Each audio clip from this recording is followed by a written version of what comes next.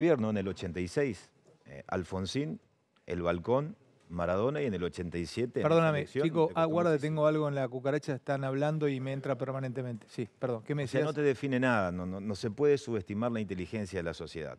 O sea, el, el Mundial son 20, 30 días de, de euforia colectiva, entre comillas, pero el drama es cotidiano.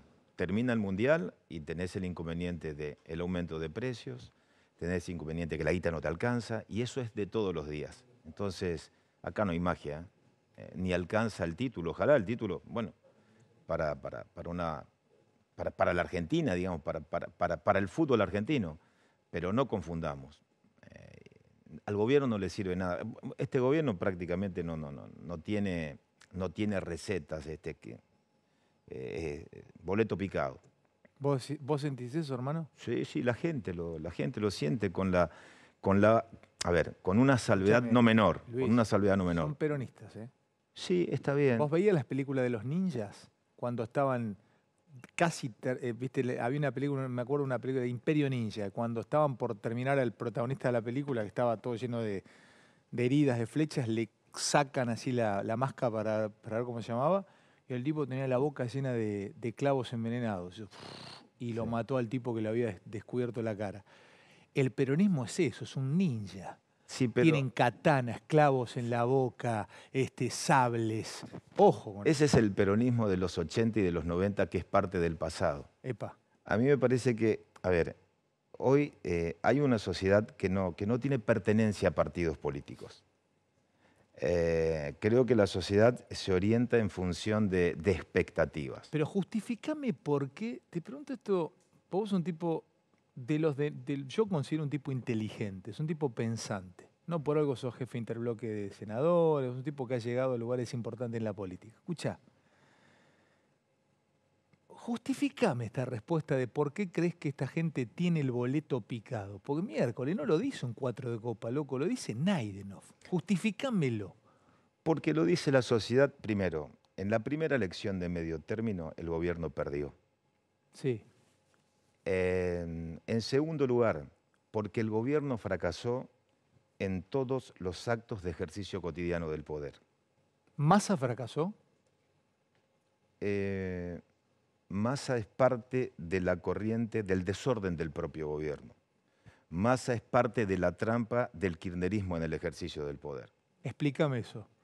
El kirchnerismo no concibe el poder sin una sucesión natural que sea parte del propio kirchnerismo. Y Massa es parte de la traición del propio kirchnerismo. Pará, si Massa no hubiese ayudado al kirchnerismo a, a estar en el poder, el kirchnerismo no estaría en el poder. O sea, lo pones a Massa como eslabón fundamental para esa traición. Para el triunfo. Yo lo pongo como un eslabón fundamental para el triunfo. ¿Por qué aplicaste la palabra traición? Porque tiene que ver con la derrota que sufrió Cristina en su momento cuando Massa intentó construir una nueva pata o una tercera pata en la Argentina, con, un- con el peronismo disidente y con otros sectores sociales en la Argentina. ¿Y a quién sentís que traicionó más ahí? Bueno, para Cristina, todos los que no están con Cristina o no acompañaron su modelo son parte de la traición.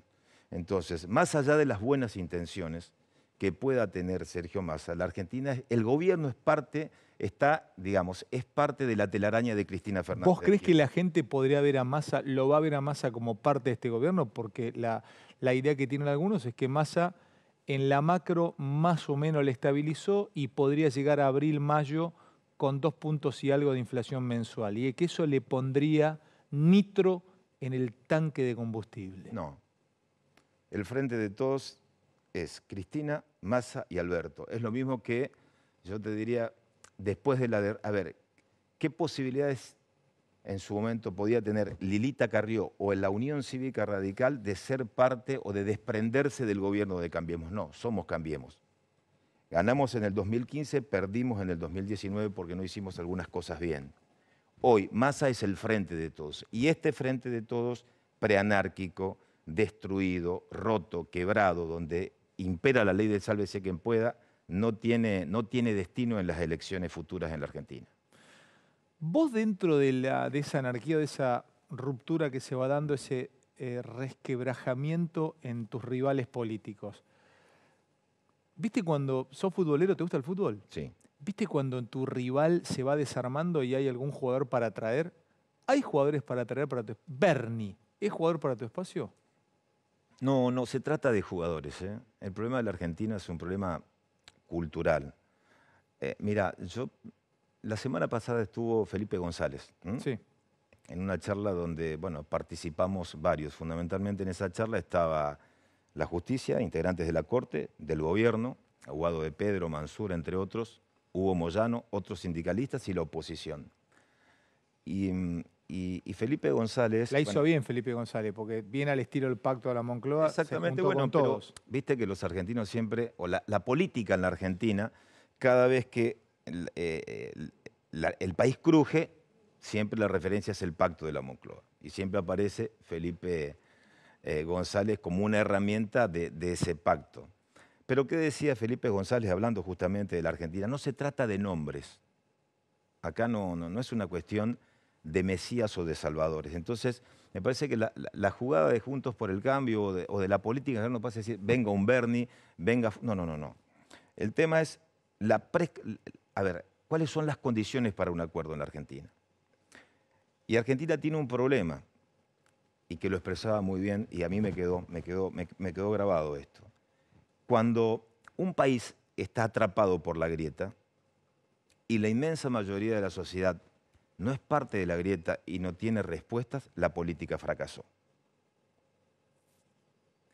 Cuando la Argentina está atrapada en la confrontación, en las antípodas, pero la inmensa mayoría, el jubilado, el trabajador formal, el informal, las pymes, el que labura, el que empuja, no es parte de esa disputa, y no tiene respuestas es el fracaso de la política. ¿Cuál es la salida? Bueno, las condiciones para el acuerdo.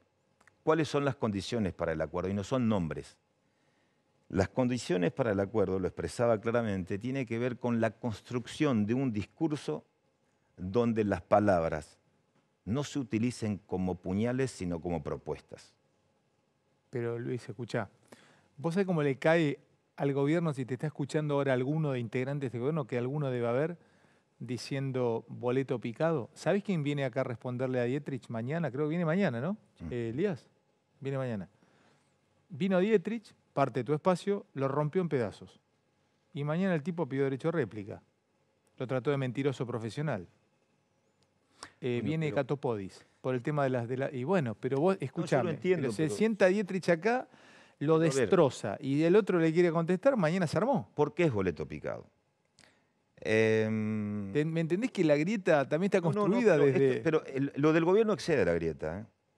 Lo del gobierno excede. Esto es un fracaso político. Es yo creo que del 83 a la fecha, eh, mirá que de la Rúa dejó sus cosas, ¿no? No me digas que de verdad considerás este el peor gobierno del 83 a hoy. Sí, el peor gobierno. Dale. El peor gobierno. ¿El de Alberto Fernández? El de Alberto Fernández, el peor gobierno. ¿Peor que el de, de la Rúa? Perdón, de la Rúa asumió y a los 30 días la CGT eh, le regaló un paro general, a los 30 días. Y de la Rúa, independientemente de su personalidad, el fracaso, el fracaso del gobierno tenía que ver con el derrumbe de la convertibilidad y, no, y, con no terminar a tiempo con un modelo económico que estaba prácticamente sepultado. ¿Puedo decir que este gobierno resiste porque es peronista? Si fuese radical, ¿qué, qué estaría este pasando? Este gobierno resiste porque la Argentina está atrapada en las corporaciones y este es un, gobierno que, bueno, corporativo y, prebendario con las propias corporaciones que hoy manejan el escenario en la Argentina, que es el problema irresuelto de la Argentina, que tampoco lo resolvió en el 83, acelerando, te estás